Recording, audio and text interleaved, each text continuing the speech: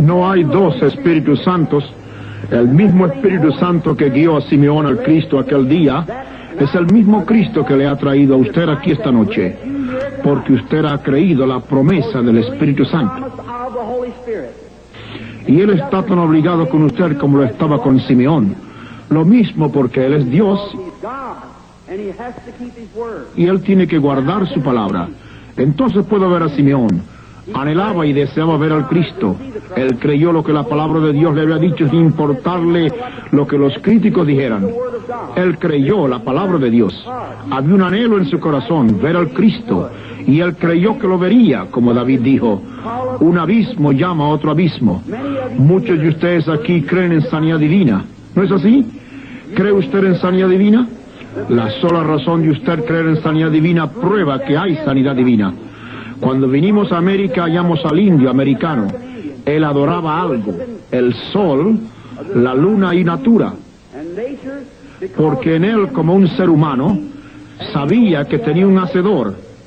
Por eso había algo dentro de su corazón que pedía adoración. Eso es con todo mortal. Usted puede adorar su automóvil, su trabajo, su casa o algo. Usted adorará algo. Si hay algún ídolo, sáquelo y deje a Jesucristo tener primer lugar. Déjelo ser primero en todo.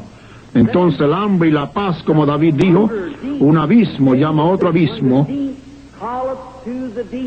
a la voz de tus canales. Ahora un abismo llama a otro. Por ejemplo esto. Si hay un abismo aquí llamando, tiene que haber un abismo que responda a ese clamor. Déjeme ser más claro. Hay esto. Soy un gran amante de la naturaleza y cuando voy al campo yo veo las puestas del sol, oigo los animales, el alarido de las fieras. Mi madre es media india. Hay algo en mí de eso, en mi sangre, y amo la naturaleza. Y cuando oigo el clamor de las fieras, hay algo que enciende mi alma. No lo puedo evitar. Recientemente estaba en Colorado y estaba allí sobre una montaña y estaba viendo una madre águila cuando traía a sus pequeños desde el nido en sus alas y las puso sobre pastos verdes. Y luego voló de nuevo hasta el pico más alto de la roca que pudo y allí se posó. Ella comenzó a mirar. Yo la miraba con mis binóculos, mi caballo amarrado a un árbol, y yo miraba y dije, Señor, me agrada esto. Y me parecía que podía olfatear. Si usted ha estado cerca de un nido de águila, lo hacen de palos afilados y cosas. Y esos pobres aguiluchos caminan sobre esos palos y espinas. Ellos no conocen otra cosa. Pero un día mamá águila extendió sus alas y ellos se posaron sobre ellas y salieron. Yo miré a esos aguiluchos y estaban celebrando un avivamiento pentecostal. Corrían de aquí para allá en el césped suave, picando allí y chirriando unos a otros, saltando uno sobre el otro tan libre como podían serlo. Pensé, bueno, eso es correcto, porque eso es como un hombre en el viejo nido del mundo, conociendo solo lo que el diablo le da. Pero un día Dios le levantó y le hizo posar en la sombra de pastos verdes. Oh, cómo se regocija. Está libre. No hay nada que le dañe. Pensé, ¿por qué no tienen temores esos aguiluchos? ¿Sabrán ellos que hay animales por allí que pueden devorarlos? Pero de vez en cuando miraban arriba y la madre águila estaba arriba mirándolos. Me dije, pues, gloria a Dios.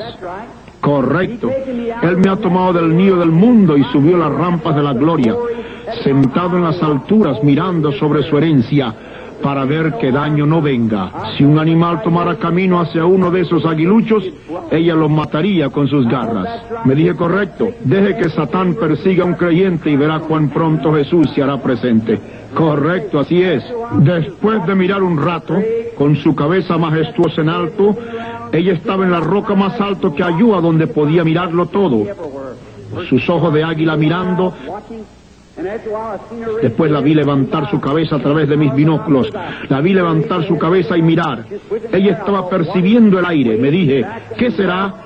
Lejos allá en el norte un viento norteño comenzaba, el trueno rugió, ella dio un alarido y abajo se fue, extendió sus grandes alas, bajó en ese verde prado y cada uno de esos aguiluchos corrió a prisa. Fueron instruidos quizás antes de dejar el nido. Ellos aprisionaron con sus picos las plumas, giraron sus picos hacia abajo, el pico enganchado alrededor de las plumas.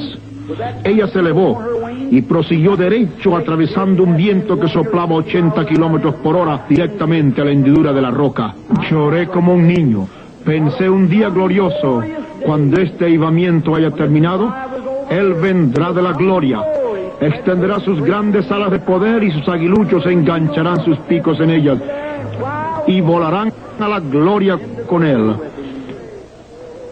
Un abismo llamando a otro abismo. Si hay un abismo que llama, hay otro que responde. En otras palabras, antes de que hubiera un árbol que creciera la tierra, tenía que haber una tierra en que crecer primero. Dios nunca hizo el árbol para la tierra, Él hizo la tierra para el árbol. Él hizo la tierra y ordenó la tierra que produjera el árbol. Y la tierra estuvo llamando hasta que el árbol apareció. Antes de que hubiera una aleta en los lomos de un pez, no había agua en que nadar. La razón de tener aleta es porque había agua en que nadar. Todo lo que tenemos es para un propósito y para una causa. Hace poco leía de un niño que se comía las gomas de los lápices. Se comía todas las gomas que hallaba. Aún se comía el pedal de su bicicleta. Y no sabían lo que sucedía al niño. Así que le llevaron para un examen con el médico en la clínica y después de examinarlo, hallaron que su cuerpecito necesitaba azufre, y azufre se halla en la goma. Y él se comía la goma para hallar el azufre. Ahí está. ¿Lo ve?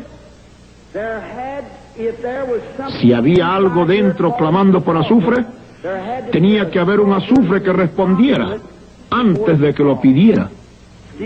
¿Ve lo que digo? Así es, cuando un abismo llama a otro abismo. Antes de que haya el clamor a lo profundo, tiene que haber una profundidad que responda. Así como muchos de ustedes hace años probablemente eran pecadores. Quizás usted estaba en alguna iglesia formal que no creía en el bautismo del Espíritu Santo, pero usted oyó el mensaje. Hubo algo allí que clamó por más de Dios. Usted pudo estar viviendo en una condición justificada delante de Dios, pero usted deseaba el bautismo del Espíritu Santo y usted hambreaba por ello. La razón cierta de que hay un Espíritu Santo es porque usted lo anhelaba. Usted no lo desearía a menos de que hubiera algo aquí, que clamara por él allá. ¿Ve lo que digo? Por eso la razón cierta por la cual está aquí esta noche es que usted cree en sanidad divina. Y si aún no fuera enseñado en la Biblia, si un grupo de ustedes creen en sanidad divina, tenía que haber una fuente abierta alguna parte. De no, usted no lo desearía. Si usted tiene el deseo de ser sanado por Dios, hay un Dios que lo sana. Porque un abismo llama a otro abismo. Así pasó con Simeón. Él sabía que venía el Cristo y él sabía que Dios le había prometido que lo vería antes de morir. Ahora, como Simeón fue guiado, ¿no es extraño? Justamente cuando Jesús apareció en la escena. Simeón fue guiado por el Espíritu Santo a Cristo, por el Cristo Santo que dio la promesa. Asimismo, el Espíritu Santo que dio la promesa de sanidad divina le ha guiado la fuente, abierta esta noche para todo el que quiera. Ahora mismo, el mismo Espíritu Santo guiándoles, guiando a hijos de Dios que creen la promesa de hoy. ¿Ve usted lo que digo? Cada uno de ustedes, hijos e hijas de Dios, son guiados aquí porque ustedes creen la promesa de Dios. Cuando pienso esto, luego recuerdo que cuando la viuda era ya vieja, se nos dice que era ciega y su nombre era Ana. Ella era una profetisa que esperaba la venida del Señor. Dios estaba obligado a mostrarle al Cristo. Y el Espíritu Santo se movió sobre Ana. Y puedo ver a esa vieja y ciega profetisa esa mañana, viniendo a través del edificio ciega, guiada por el Espíritu Santo, moviéndose entre toda esa gente, acercarse a la fila de mujeres y detenerse en todo el frente de la fuente, a donde fue guiada por el Espíritu Santo. Sí, Él está aquí esta noche. Él se ha levantado de entre los muertos. Él les está dando la promesa. El Espíritu Santo los ha juntado a ustedes. Si usted no estuviera aquí esta noche, si el Espíritu Santo no lo hubiera traído aquí, usted estaría en alguna parte del mundo. Pero usted está aquí en este edificio caluroso, abanicándose. ¿Por qué? Porque usted espera a Jesucristo venir en la escena y confirmar la gloria. ¿Expectativa? Si usted espera venir solo para hallar algo que criticar, el diablo de cierto se lo mostrará. Ciertamente que sí. Usted recibe lo que espera. Algunos dicen, si yo no hallo en la línea de oración, si yo veo algo como esto, solo así creeré. Usted recibirá lo que espera. Yo espero ver esta noche al Espíritu Santo venir y manifestarse en poder, derramar su gloria en este edificio aquí. Luego usted recibirá el bautismo del Espíritu Santo, pecadores que lloren en el Calvario, los enfermos sanados, toda clase de señales y maravillas, porque Jesucristo lo ha prometido. Yo creo la promesa. Oremos. Padre Celestial, por cuanto tu palabra es verdad, confirma tu palabra con señales y maravillas del Jesús resucitado. Sabemos que cuando Él estuvo en la tierra, Él no reclamó ser una gran persona. Él solo afirmó que tú le mostraste por visiones lo que debía ser. Él conocía los pensamientos de la gente, sus condiciones. Él supo cuando la mujer con flujo de sangre tocó su vestido. Ella estaba allí y se dio cuenta que no podía esconderse porque Jesús la estaba mirando. Él sabía. Él dijo, tu fe te ha salvado. Y Padre, sabemos que Él está aquí esta noche porque Él prometió estarlo. Mientras nuestra confianza está anclada en Él, en su palabra, estamos seguros que le hemos visto en la manifestación de su gran resurrección. Aquí en la tierra, obrando entre su pueblo en la iglesia. Y Señor, permítenos ser hoy los dadores de luz de esta edad. Que cuando el gran drama termine en el fin del camino y cada uno de nosotros se presente delante de ti y el gran telón se manifieste y nuestras vidas de esta generación se han proyectado delante de nosotros, Dios déjame oír mi voz clamando contra la injusticia y llamando a la gente a que crean en Jesús tu Hijo. Bendice a la gente aquí esta noche, algunos en este calor. Yo te ruego Dios que les des una especial bendición.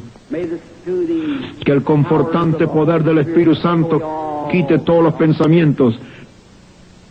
Y Señor, santifica tu siervo ahora mismo para el culto que viene.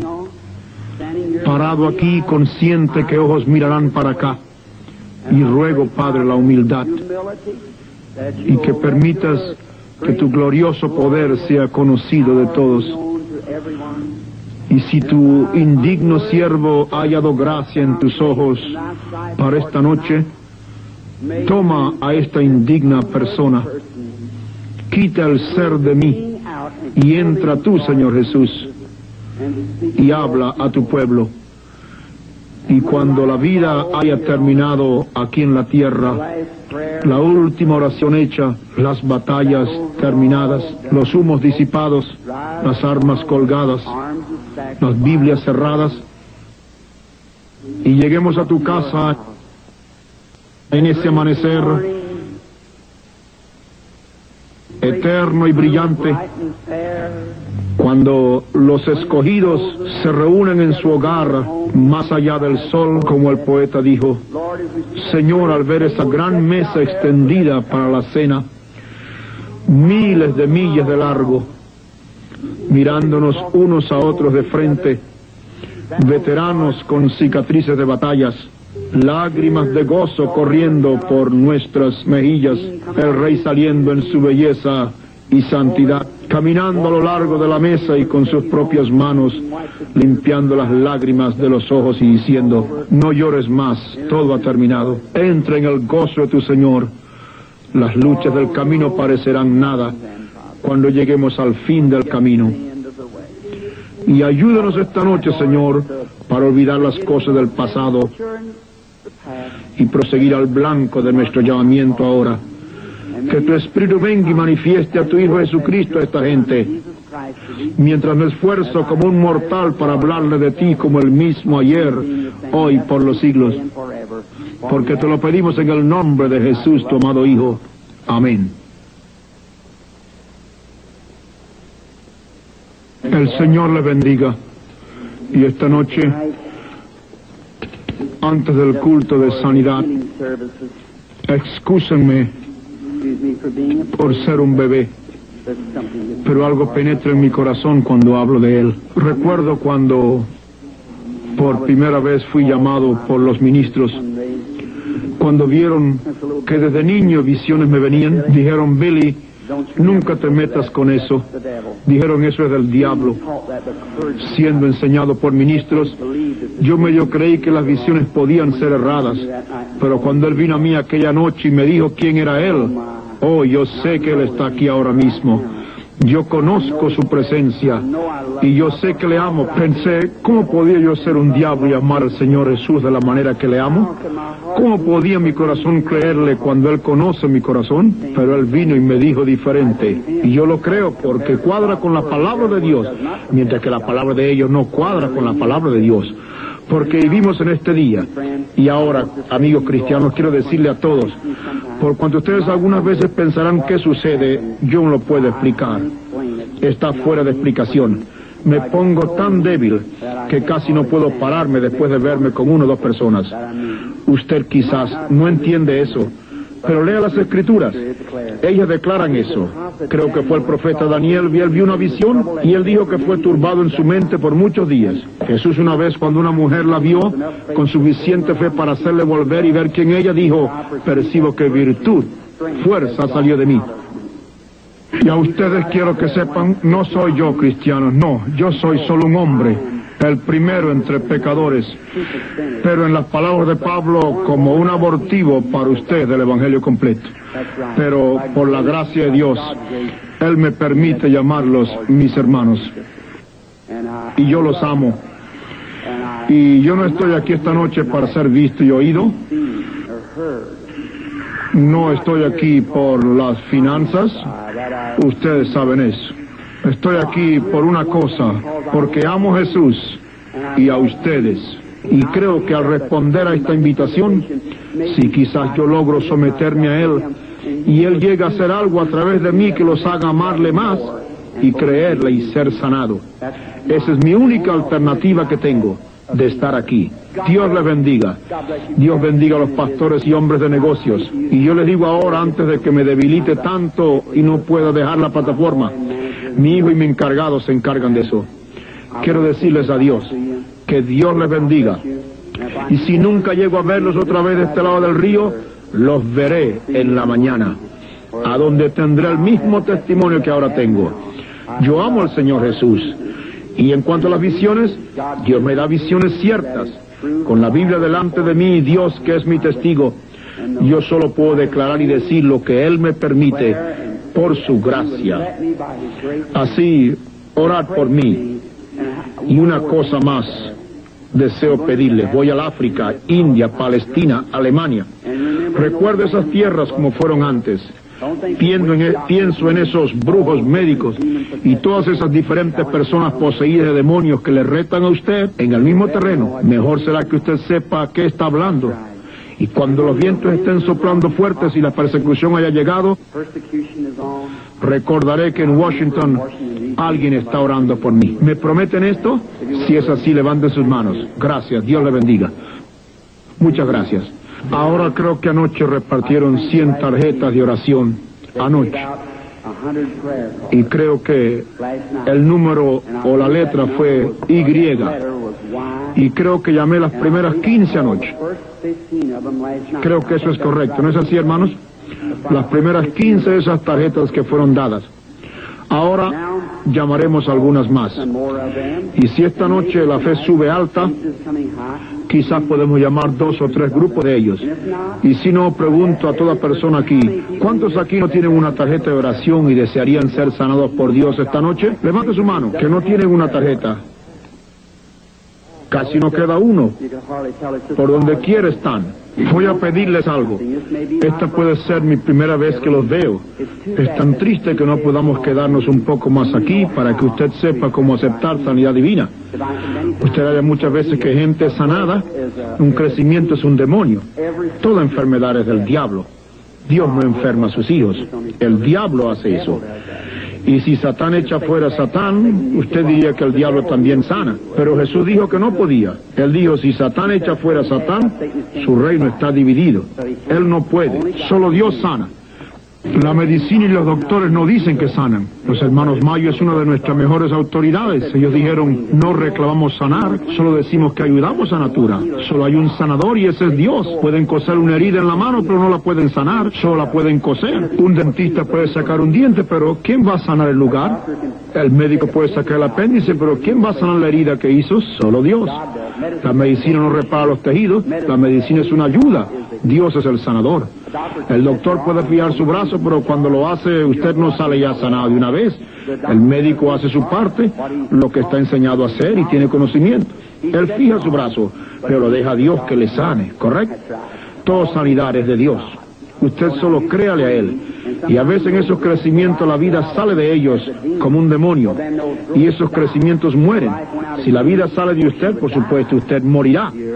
Su vida se irá de usted, pero el cuerpo sigue aquí. Se encoge. Si hubiera aquí uno que embalsama, sabría que el cuerpo humano u otro cuerpo, toda carne encoge cuando la vida se ha ido. Observe un animalito cuando es matado en la carretera. Pesa. Algunos cazadores saben. Se mata un animal para comer y lo pone sobre la balanza ahora mismo. Pesarlo acabado de matar y luego en la mañana vuelve a pesar y vea cuántas libras más liviano es. Y luego déjelo así por dos o tres días y vea cuánto más pesado se pone. Ahora un crecimiento cuando muere, el demonio sale de allí como un tumor, cáncer, cataratas y por el estilo. Cuando el demonio sale de él, que es una vida, cada persona aquí viene por un pequeño germen y usted comienza a desarrollar células y estas células se forman conforme a la naturaleza de la vida que estaba en ella, que hace al hombre. La célula que un perro hace un perro, el pájaro pájaro, conforme a su naturaleza cada vez. Pero ahora un demonio que es un crecimiento, puede que no venga en un crecimiento, pero comienza a desarrollar células. Por ejemplo, el cáncer comienza a desarrollar células y se hace más y más grande. Ahora tiene una vida que está viviendo. De la misma manera que usted vivía y se desarrollaba en el vientre de su madre. La misma cosa, usted se desarrollaba, pero esta vida no es su vida, es una vida diferente. La vida suya es para vivir, pero esto es una vida de muerte, un espíritu de muerte, mejor dicho, perdóneme, y es muerte. Esa no pertenece a usted. No estaba allí antes, pero está allí ahora. Pues entonces, ¿quién la puso allí? Solo viene de una cosa y ese es del diablo. Y es un germen cáncer, tumor u otra cosa, viene de un germen. Y usted viene de un germen también. Cuando eso muere, por ejemplo, como una catarata. Si una persona tiene cataratas, es cuando el espíritu sale que la gente dice, puedo ver, puedo ver. Y el otro día pueden ver mucho mejor. Más o menos como a las 72 horas, la corrupción comienza. Como la resurrección de Jesús. Las células en él no se corrompieron. Él se levantó antes de los tres días y tres noches. Él murió el viernes en la tarde y se levantó el domingo en la mañana. David dijo, no dejará su alma en el infierno ni permitirá que tu santo vea corrupción. Esas células comienzan a descomponerse en 72 horas. Pero muchos pacientes flaquean, cuando eso comienza a hincharse, ese crecimiento se hace más grande y por supuesto su corazón tiene que purificar el torrente sanguíneo. Una señora vino a mí anoche, una dama muy santa y piadosa con un gran cáncer ella dijo que estaba en la línea y que el cáncer había cubierto todo su cabello y dijo que yo la miré y le dije, bajo el espíritu, que ella tenía cáncer en su cabeza. Y yo le dije que se le iba a caer y se le cayó y ella lo tiene aquí con una botella de alcohol. ¿Está la señora aquí? ¿Quiere ponerse de pie? ¿Está la dama en alguna parte en el edificio con ese cáncer en el alcohol? ¿Está en alguna parte aquí? Mueva su mano o algo para que podamos verla. Sí. Allá está la señora parada con el cáncer. Yo los he visto aquí en la plataforma tornarse blancos y caer en la plataforma. Eso es un milagro. Comúnmente cuando el crecimiento está muerto, la vida sale de él. Pero el crecimiento no se cae porque está por dentro. Y si llega a caerse, se queda allí por unos días y comienza a hincharse, igual que la carne afuera y las células comienzan a romperse. Entonces usted se enferma con fiebres, como una infección. El corazón bombea la sangre y purifica el cuerpo. Hay un gran pedazo de carne suelta en su cuerpo. El paciente se enferma violentamente y entonces dice, oh, me sentí tan bien en la plataforma y por unos días más Pienso que perdí mi sanidad. Hermano, hermano, esa es la mejor señal en el mundo que usted ha sido sanada. Ve, luego usted deja de creer. Y tan cierto como su fe echó fuera esa vida, su incredulidad la vuelve a traer de nuevo. La resucitará. Recuerde, Jesús dijo, cuando el espíritu inmundo ha salido del hombre, anda por lugares secos, mas después regresa con siete espíritus peores. Deje pues que su fe le sane, no importa cómo se siente. No es lo que usted sienta, es lo que usted cree. Jesús nunca dijo, lo sintió usted, más bien dijo, lo ha creído. Dios le bendiga. Bien, ahora, creo que 100 tarjetas de oración dadas anoche eran Y.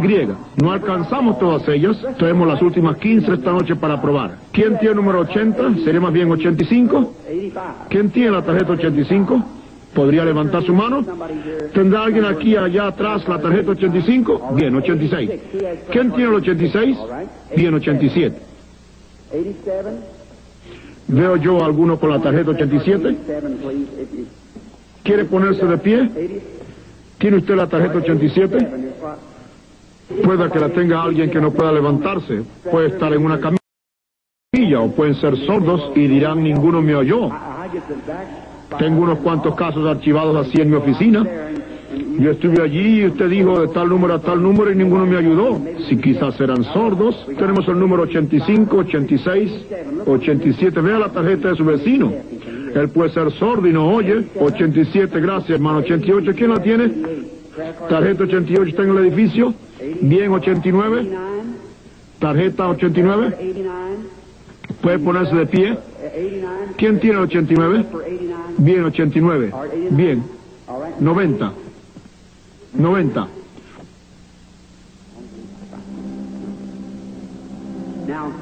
Ahora, si cada uno aquí tan solo hace lo que él dice, no importa lo que él diga que haga, hágalo, hágalo, haga exactamente lo que él dice.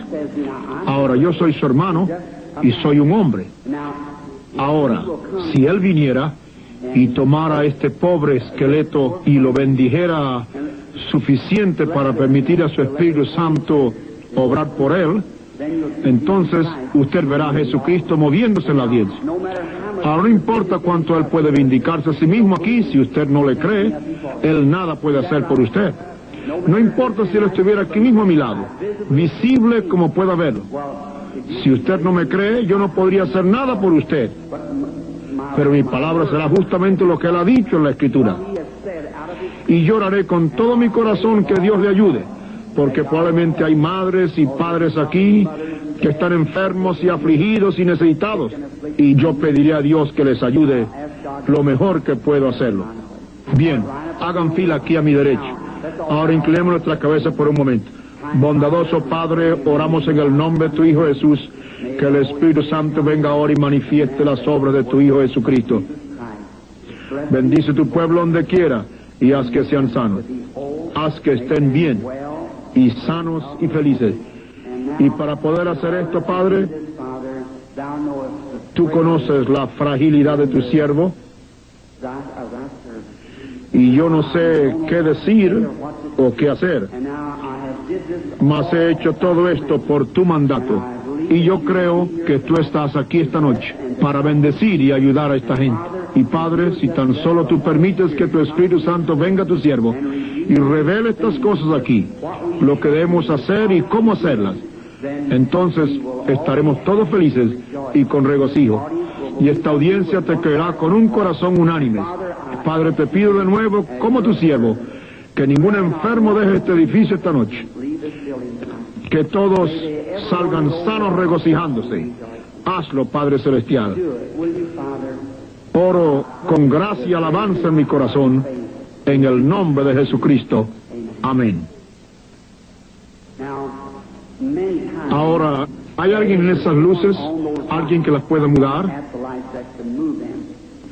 Ahora, a veces este Espíritu Santo viene Y muchos de ustedes han visto la fotografía.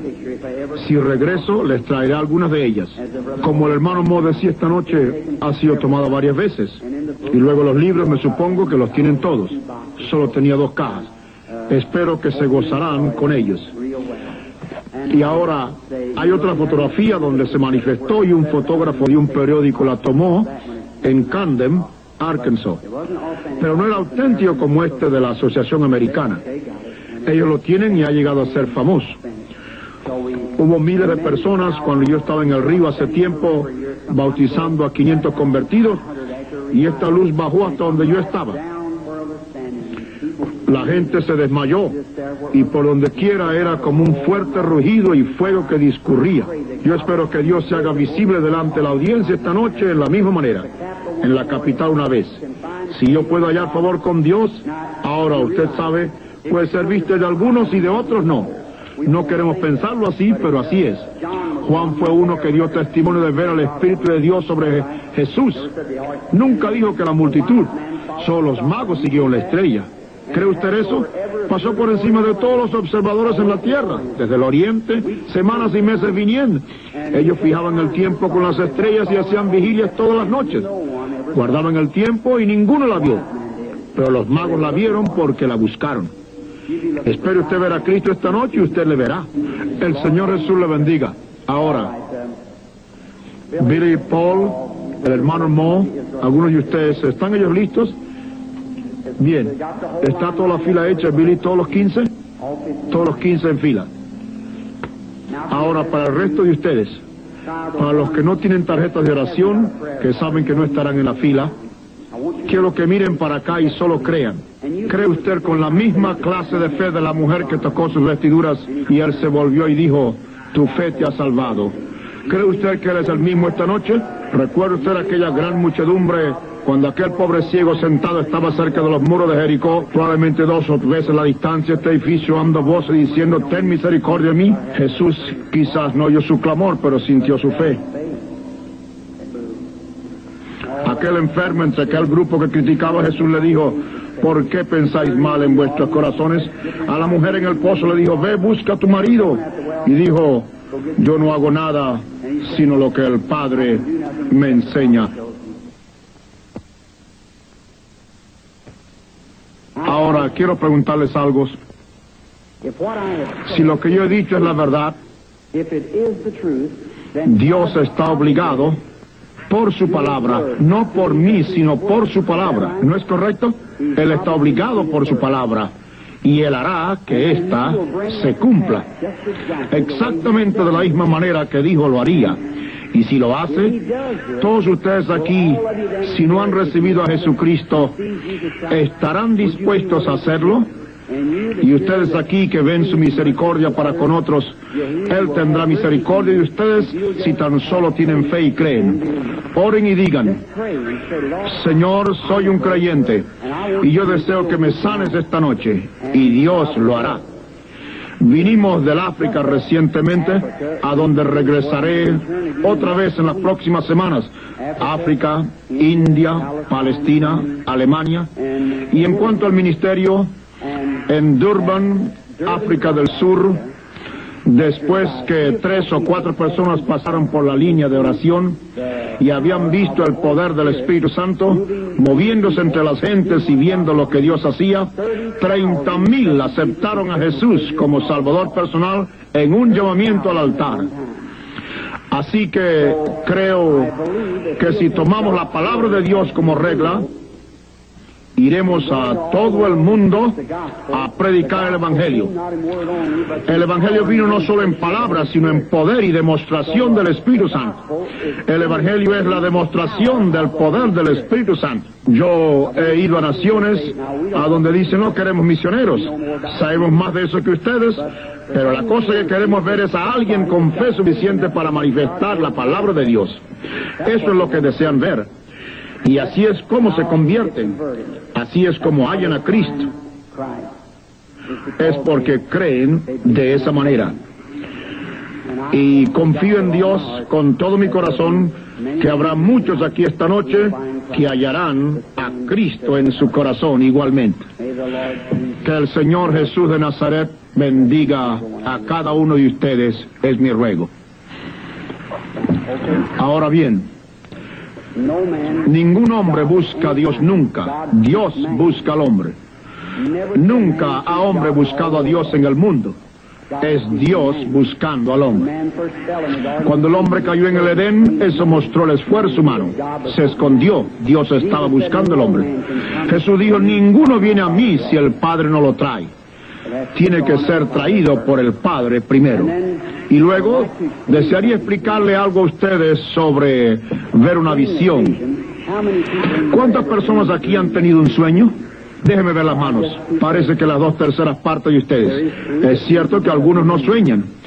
Hablamos del subconsciente. Aquí está su primera conciencia y aquí su subconsciencia. Ahora esta subconsciencia es con la que procuro trabajar con el Espíritu Santo.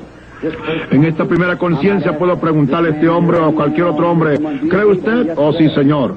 Usted lo cree aquí, pero ¿qué de este hombre acá abajo? Él es el que gobierna el barco. No es el hombre en la cubierta, es el hombre en el cuarto de máquinas. A veces cuando nos dormimos, usted entra en este subconsciente y usted sueña. Y usted sueña de cosas que hizo cuando estaba aquí. Cuando luego se despierta, usted recuerda las cosas que soñó. Ustedes tuvieron sueños años atrás. Todavía se acuerdan lo que soñaron. Había una parte de usted en alguna parte. ¿No es así? De otro modo no lo recordaría. Algo que usted soñó hace muchísimos años. Ahora el hombre que duerme profundo, su subconsciente está allá atrás. Nunca llega acá. Pero un vidente subconsciente no está allá atrás, ni tampoco aquí, está aquí. Él no se duerme. Tiene sus ojos abiertos y simplemente ve. Dios da a un hombre el dormir profundo sin soñar. Dios da a otros la manera de soñar. Si yo digo sueñeme un sueño, usted no podría hacerlo. Luego Dios pone en la iglesia algunos apóstoles, profetas, dones de sanidad. ¿No es correcto? Todo esto para la perfección de la iglesia. Pablo dijo, si vienen y todos hablan lenguas y entran los indoctos, ¿no dirán que estáis locos? Pero si uno profetiza y revela los secretos del corazón, ¿no se humillarán y dirán verdaderamente Dios está en vosotros? Correcto. ¿Ese es el Evangelio? ¿No es ese Jesucristo como fue ayer y también hoy? Usted puede creerle hablando en lenguas, usted puede creerle por el Espíritu Santo, pero yo le creo en la medida plena que Él es. El mismo Señor Jesús él no está muerto, Él se levantó de los muertos y está aquí esta noche. Aquí en la plataforma ahora mismo. Que Él nos bendiga y ayude. Yo nunca he estado antes aquí y hasta donde puedo saber no hay un alma de las que veo que conozco. Muy pocos aquí en la plataforma. El hermano José lo conozco. Veo también el que está a su lado, no recuerdo su nombre. También hermano Lindsay quizás tres o cuatro ministros sentados aquí que también conozco, pero Dios los conoce a todos, ¿no es verdad? Él los conoce a todos ustedes. Ahora esta dama delante de mí, Dios sabe que nunca la he visto en mi vida. ¿Somos extraños, señora? Somos perfectos extraños. Pero Dios la conoce. Ahora, si Jesús es el mismo ayer, hoy, por siempre, cambiamos el cuadro ahora. Lo que él fue ayer cuando iba a hallar algo sobre una mujer, él dijo, dame de beber. Ella dijo, no es costumbre que eso suceda con judíos y samaritanos. Pero Jesús hablando con ella un poco halló a dónde estaba su dificultad. ¿No es así? Ahora, si Jesús se ha levantado de los muertos y esta noche vive en nosotros, un poquito y el mundo no me verá más, pero ustedes me verán, porque yo, pronombre personal, seré en vosotros hasta el fin del mundo. Esa es la verdad del Evangelio. Usted quizá no ha leído esa manera, pero esa es la manera como está escrito en la Biblia. Quizá su teología pudo pasarlo por alto, pero esa es la manera como está escrito en la Biblia. Yo seré con vosotros y en vosotros hasta el fin del mundo. Ahora, Ustedes saben que espero por algo. Eso es verdad. Espero al ángel del Señor. Eso es verdad. Yo soy tan inútil como se puede ser, como cualquiera de ustedes. Y estoy aquí quizás. Hay críticos aquí. ¿Cuántos han visto su fotografía y conocen de mis reuniones y cómo la ciencia ha captado su fotografía? Esa gran luz que viene, usted puede verla. Sí, muchos de ustedes. Millares de copias han sido vendidas. El estudio Douglas en Houston, Texas, la tiene. Jorge Lacey, uno de los mejores en investigaciones en América, la tomó y la examinó detalladamente para ver si no era una doble exposición u otra cosa. Y en esto Jesucristo se vindicó a sí mismo como el mismo ayer, hoy, por siempre. Por supuesto, yo espero por él ahora. Si él me ha de ayudar esta noche, no lo sé. Y si he dicho una cosa jactanciosamente o dicho algo fuera de la verdad, que Dios me perdone. No ha sido mi intención. Digo esto con humildad de corazón para representar a Jesucristo. Él me escucha ahora. Y que su misericordia esté aquí esta noche, por cuanto hablé estas cosas que son su palabra. Quiero el venir y ayudarnos, es mi oración. Y ahora, ¿está el organista por aquí? Si tocara bien suave y lento el coro, solo creer. Y todos, por favor, en actitud de oración, si usted desea. No tiene que inclinar su cabeza a menos que se le pida. Ahora, en la línea de oración.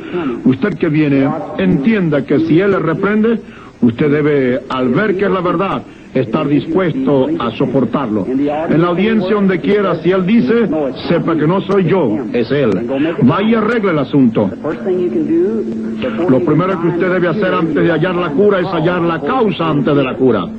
Si usted va enfermo a un médico y él le receta una aspirina, eso no es un buen médico. Está procurando deshacerse de usted. Si es un buen médico, diagnosticará el caso hasta hallar el mal y luego comenzará a trabajar desde allí. Es lo mismo que tenemos que hacer aquí. Si hay un espíritu malo, si hay un pecado sin confesar o si está fuera de la voluntad de Dios, usted puede ungirlo toda la noche y llorar y clamar y hacer de todo. Ese demonio se queda allí. Correcto. Tiene derecho a eso. Eso es lo que tiene que observar. Si Dios ha puesto una maldición sobre alguno y usted viene y se la quita, se hallará en problemas como fue con Moisés. Aquí está Él, el Espíritu Santo. Ahora, en el nombre de Jesucristo, el Hijo de Dios, tomo a toda persona bajo mi dominio para la gloria de Dios. Quiero hablarle a usted un momento, hermana. Usted está consciente que algo está sucediendo, por supuesto. Es que acaba de suceder. Si eso es la verdad, deje que la gente lo sepa levantando su mano. Así es. ¿Ve? Es su presencia, eso es, ¿ve? Ahora, yo soy un extraño a usted y nunca en la vida me ha visto.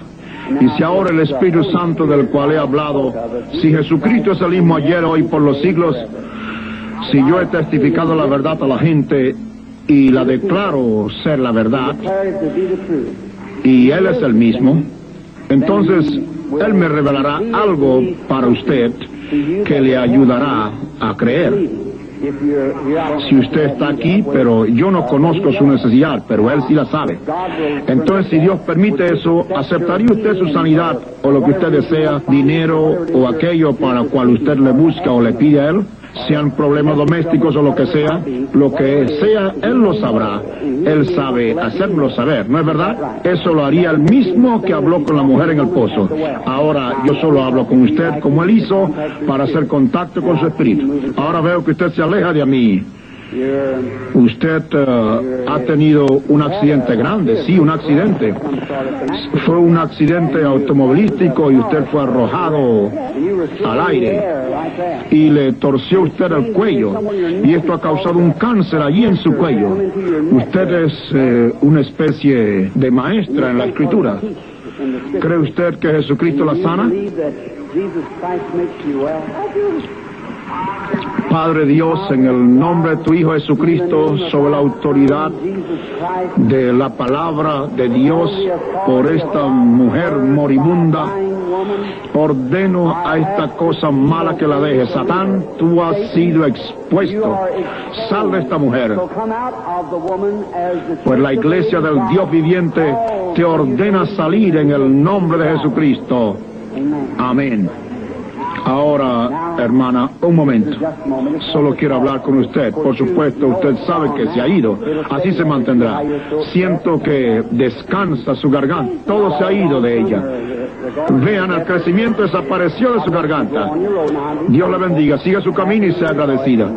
Gócese y regocíjese. Solo tengan fe en el Señor Jesús. Hagan el centro de sus pensamientos al Señor Jesús.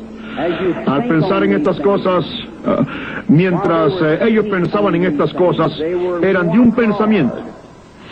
Recuerda, Jesús es el mismo ayer, hoy y por siempre. Él es el mismo hoy. Tengan fe, miren para acá, audiencia, y crean con todo el corazón y préstenme su atención. Estén en oración. Tengan fe en Dios.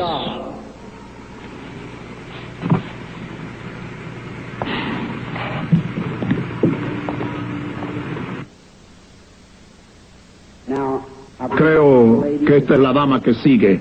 ¿Es esta la paciente? Bien, acérquese más, hermana. Por supuesto, eso no le dañará. Esa es solo su presencia. ¿Ve usted? Usted está consciente de eso.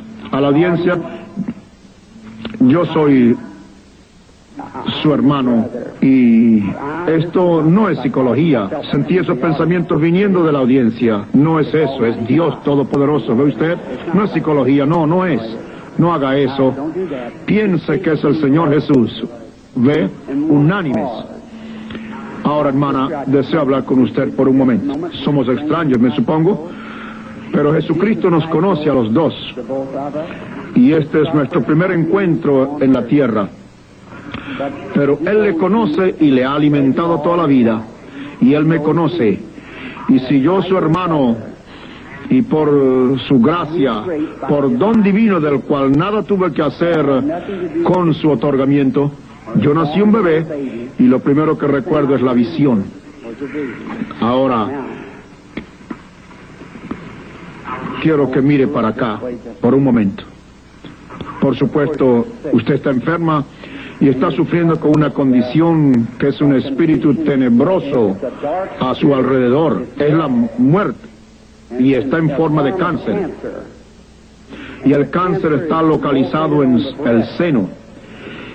Y la veo examinada por uno fuerte. Es, eh, es un... Usted tiene una hernia y la hernia está en los intestinos. Y usted está enferma del estómago también. También está enferma del corazón que le cause desmayos. Hace pocos días usted estaba sentada en la orilla de su cama y casi se desmayó mirando hacia su ventana. ¿Son verdad estas cosas? ¿Todo verdad? Bien, lo que fue, por supuesto, se ha ido de usted. Pero, ¿qué cree usted que es el que conoce su vida? ¿Es Jesucristo? ¿Lo acepta usted como eso? Gracias. Usted se esfuerza porque sabe que algo sobrenatural está aquí y si usted cree que es el Señor Jesús como yo le he predicado de su palabra, ¿usted cree que es el Señor Jesús? Yo sé que todavía cuelga sobre usted un espíritu tenebroso, es algo serio. Le ve usted. Su nombre es eh, Eva y su apellido es York y usted vive en esta ciudad y su dirección es 613 calle Sexta, ¿correcto? Usted regresará a casa sana en el nombre de Jesucristo. Puede regresar sana. Dios la bendiga. Váyase feliz y contenta.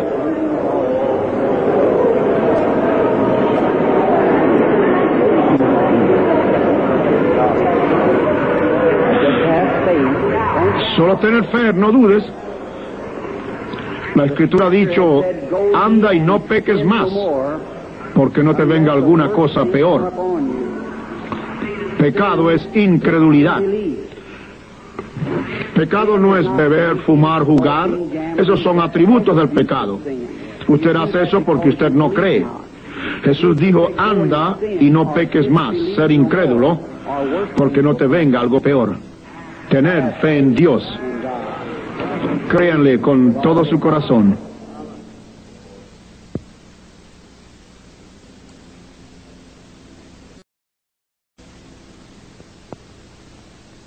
Veo que la luz todavía sigue a esta dama, si esa es la dama que salió de aquí.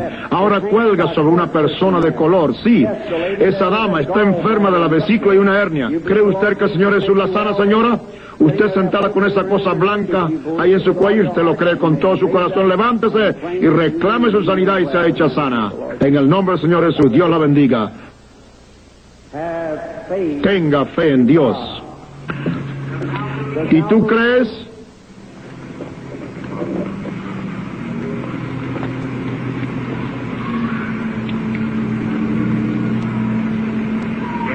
Usted tiene una hernia, Señor, sentado allí, ¿es correcto? Usted estaba sentado allí diciendo, Señor, haz que ese hombre me hable, ¿es correcto? Si eso es correcto, levante su mano, póngase de pie. Tu fe te ha sanado, hermano. Vete a casa, Jesucristo te sana. Es el mismo Señor Jesús. Usted no necesita estar aquí, sino tener fe. Solo crea a Dios con todo su corazón y recibirá lo que usted pide. Jesucristo te lo concederá si tan solo crees. Pero debes tener fe. Usted debe creerle con todo su corazón y Dios hará que se cumpla. El paciente, perdóneme, Señor. ¿Cree usted con todo su corazón? Si cree, usted está un poco excitado por la presencia de su ser parado aquí. Y creo que usted eh, vive fuera de la ciudad. Usted viene de una capital también, de Richmond, Virginia. Usted tiene un cáncer, está en usted dentro de su boca, en su quijada. ¿Es correcto? ¿Quiere irse a su casa sanado? Acepte a Jesús como su sanador y en el nombre de Jesucristo que salga de este hombre. Vete de él. Dios le bendiga, Señor. Váyase creyendo, teniendo fe con todo su corazón. ¿Qué dice usted? Alabé a usted, Señor, una persona bien joven. Más joven de lo que es en mi presencia. Usted está sufriendo con dolores de cabeza. Y es, uh, uh, viene de muchos años. Hace como 25 años que comenzaron sus dolores. Y le han estado molestando desde entonces. Y usted ha sido una gran creyente. Y usted ha orado por esta hora, la cual ha llegado ahora. Usted le ha dicho en oración a Dios que si tan solo pudiera acercarse a mí, si yo orara, sus dolores dejarían de ser. ¿Es verdad esto? Es verdad. Ahora, usted oyó lo que fue dicho, pero ese no fui yo. Esa fue solo mi voz. Por supuesto, eso que fue, recuerdo ver a una persona joven o algo. ¿Fue de la manera que fue dicho? Exactamente como fue dicho. Ahora, ¿usted cree que Dios lo hizo? ¿Usted cree que Dios le ayudó? ¿Está seguro que Dios está aquí? Un momento. Yo veo otra cosa. Una señora joven parece estar cerca de usted. Es uh, uh, su hija. Ah, sí. Usted hacía preparativos para ir un viaje. Usted iba a verla y ella es de Indiana, en Richmond. Indiana es a donde ella vive. Su esposo es un ministro y ella le ha escrito una carta o algo diciéndole que no vaya porque yo venía para acá. ¿Es eso correcto? Usted es sanada.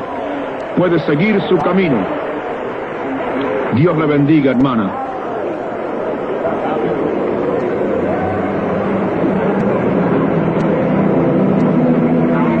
Ahora solo crea, tenga fe en Dios. Jesucristo es el mismo ayer, hoy y por siempre. Y ahora solo tengan fe y crean. Dios bendiga a ustedes, amadas hermanas de color allí alabando a Dios. Él está siempre listo para ayudar cuando usted crea, para ayudar en necesidad. Un momento, la dama. Ahora veo al Espíritu Santo allá en la esquina. Está sobre una dama de color. Ella está mirando para acá. Ella está adorando. Ella tiene un crecimiento en su garganta. Ella tiene su mano levantada.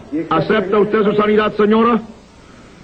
La señora sentada detrás de usted allí mismo, ella también tiene un crecimiento en su hombro. ¿Es correcto, señora? Ambas, pónganse de pie ahora mismo. Las dos damas allí con el crecimiento, las dos damas de color.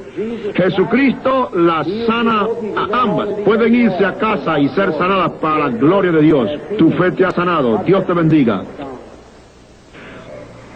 En fe en Dios. No deje de creer. Antes crea que todas las cosas son posibles a los que creen. Amén.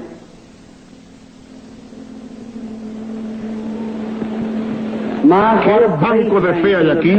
Se ve una nube blanca por todo el edificio. Están ciertamente en el Espíritu del Señor ahora. Cualquier cosa puede suceder. ¿Cómo está usted, señora? ¿Cree usted que yo soy profeta de Dios? Quiero decir que un profeta es un predicador. ¿Usted no cree que yo soy del enemigo? Usted cree que yo soy de Dios. Así es que usted lo acepta. Entonces así puedo ayudarla porque Él me dijo que si hago que la gente me crea y soy sincero cuando oro, que nada se interpondría a mi oración. Ahora, no soy yo el que le ayuda, es Dios el que sana. Yo dije a Dios, no me creerán. Él dijo, dos señales te serán dadas como fue con el profeta Moisés. En esto la gente creerá. Una de ellas era para revelar los secretos del corazón de la gente. Ahora usted no está aquí por usted, aunque usted es nerviosa y está agotada por causa de la enfermedad de esta niña. Esta niña está sufriendo. Ha sido desahuciada por los médicos para morir. Es leucemia. ¿Verdad? Usted trajo a esta niña no de la ciudad. Usted viajó viniendo del oeste hacia el este. De allí vino. Usted viene de un estado que tiene montañas, es Pensilvania, y su ciudad creo es Chambersburg, ¿es correcto? Tráigame la niña. Pequeña amada, si el Señor Jesús estuviera aquí, Él pondría sus manos sobre ti y la muerte te dejaría y vivirías. ¿Crees que soy su siervo? Entonces, en su lugar, pongo mis manos sobre esta niña y la bendigo y ordeno que el demonio deje la niña y que la vida venga a ella y que viva y sea sana. Sal de esta niña, sal de esta niña, Satán, por la autoridad de la Biblia de Dios y con un don divino ministrado por un ángel, te conjuro que la dejes, que dejes la niña, sal de ella. ¿Tú crees que vas a estar mejor? Dios te bendiga. Da la vuelta y saluda a la audiencia. Esta niña con tremenda fe se sana. Dios te bendiga, amada. Regresa a tu hogar. ¿Cree usted que soy su profeta, su siervo? ¿Cree que Dios está cerca y su espíritu y que esto que está siendo hecho es del Señor Jesús? No yo, yo soy un hombre. Si Dios me hiciera saber lo que a usted le sucede como una vindicación que soy su profeta aquí revelando la verdad, como él dijo a la mujer, ve, busca a tu marido. Ella dijo, no tengo marido.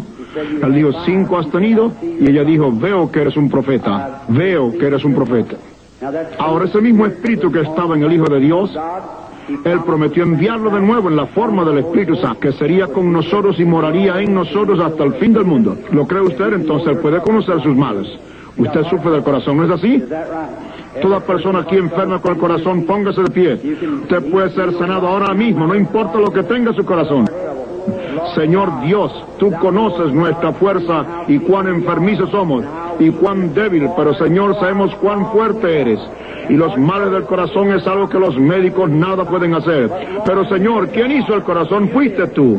Y ahora yo reprendo este poder demoníaco que tiene esta gente enferma del corazón, que salga de cada uno de ellos. En el nombre de Jesucristo. Amén. Dios le bendiga, hermano. Quiero decirle algo a usted. ¿Se siente usted diferente ahora a como hace tiempo se ha sentido? Para que la gente sepa, había un espíritu tenebroso. Usted sufría mucho y estaba en cama. Pero ahora se ha ido y usted, usted está sanada. Usted está bien.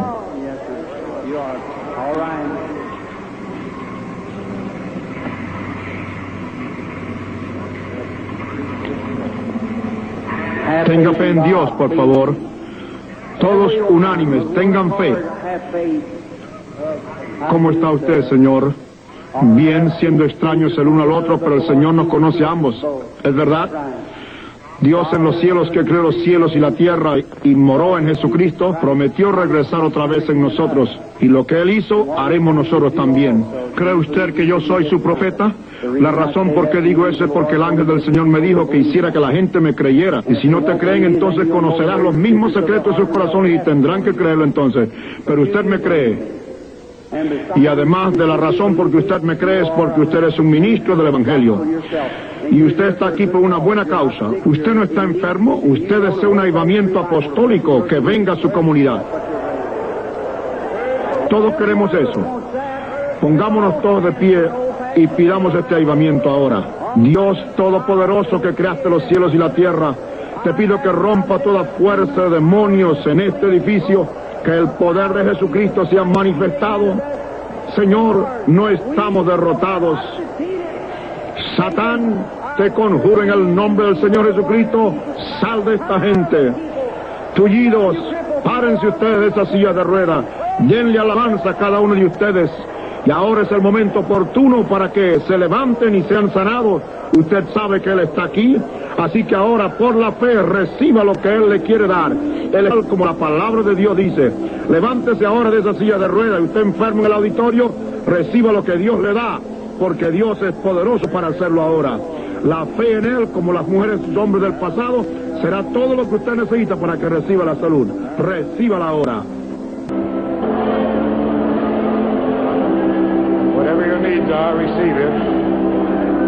Yes.